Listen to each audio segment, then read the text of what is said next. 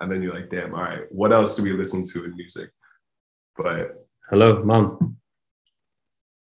I'm on an interview. I love you. I'll call you back.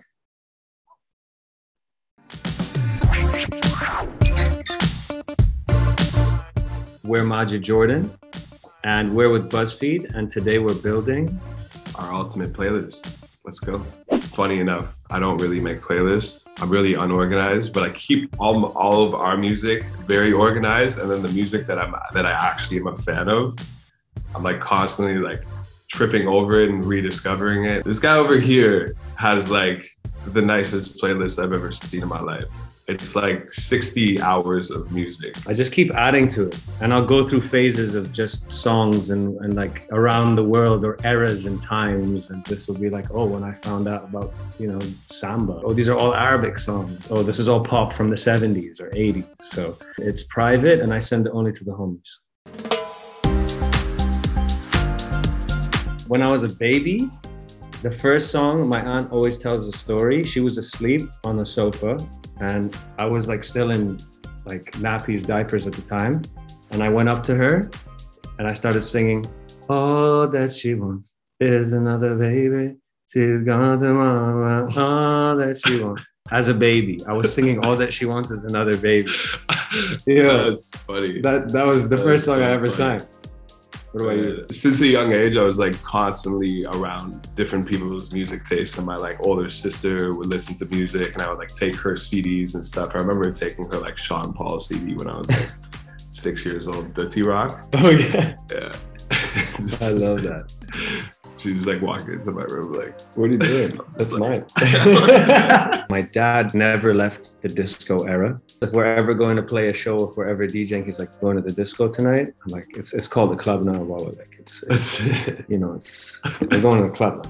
He's like, "You guys, you doing the disco thing?" You know, like he used to rock like a medallion with like the big lapel and everything. I always remember listening to "And the Beat Goes On" by the Whispers in the car with him. Man, we have to play like a proper. Oh, we'll do we'll do a roller. Yeah, we'll do it like a roller skating the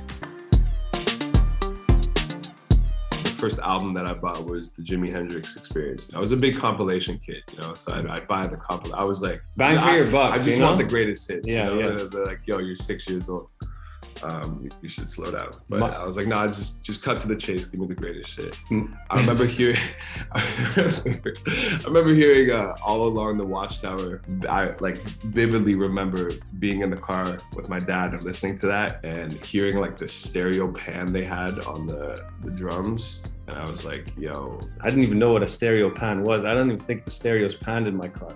I lived in Bahrain. Only like massive artists would ever stop by there. The first show was Shaggy. Mr. Bombastic was the song. And that was my entry. And I don't know if it panned on the stereo or anything, but I just remember being like, yeah, man. Also, Craig David came to Bahrain. He had he had to change like four times because all he brought were long sleeves. And it's so hot there. so hot. Like he was like, yo, I'll be right back. And I came out, there was like another long sleeve. I was like, no, this guy's gonna be too hot.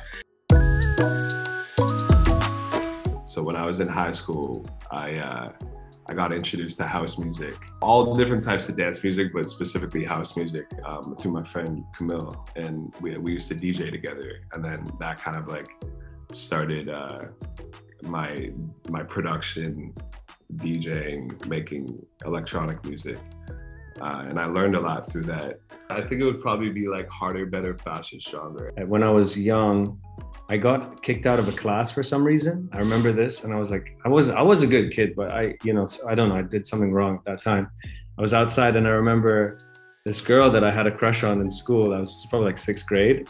She came up to me and she's like, "Yo, listen to the song," and she played "Hey Ma" by Cam'ron. It sounds like such a high school, like first, la- first or last day of high school. You're walking in. Hey it was towards playing, yeah. Like, the doors are open. Yeah, and it was like you a see, beautiful you see day. You see your crush. Yeah, "Hey Ma." Yeah.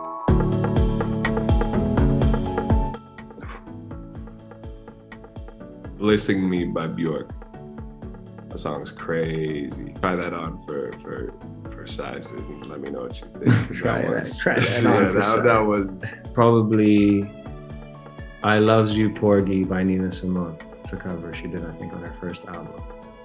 I don't know why it makes me so sad. Mm-hmm.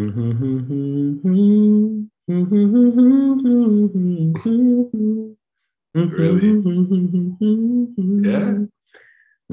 No, I anything. I I fall in love all the time. Like life is for love, you know. I feel like that's what we gotta do. So I play I play just anything that feels good. Yeah. Feels warm. Yeah, Yeah. yeah, I I, I I agree. I, th- I I think about our music when when when you ask that question. I I'm in love with with making music. My new song "Waves of Blue" is that idea. Like there's there's a line in it where it's I'm in love with the thought of being in love with you.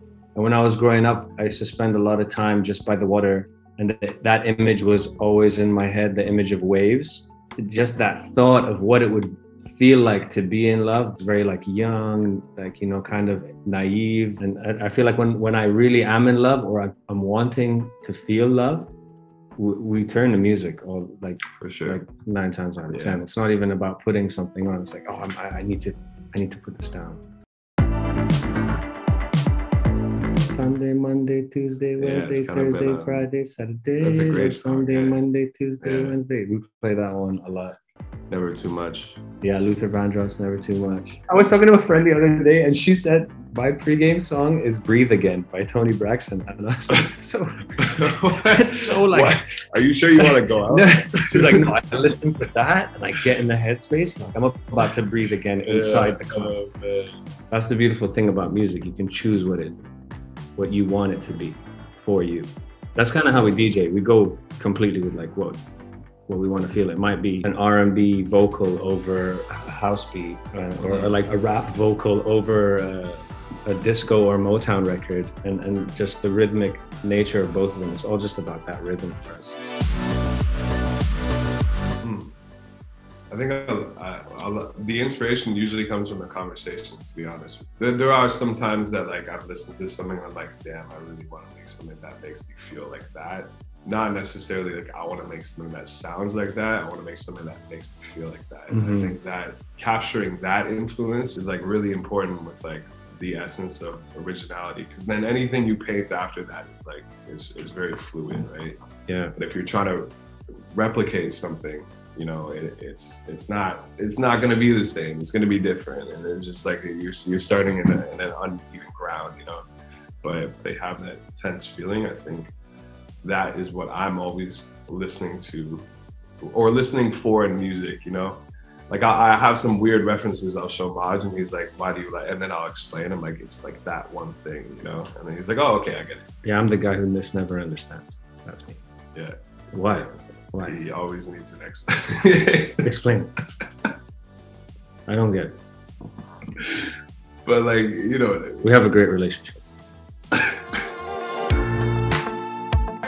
I like an I like albums that you don't skip. You know, like I like when when you play like an OutKast album, like Aquemini, and you like you can listen to that whole album, good.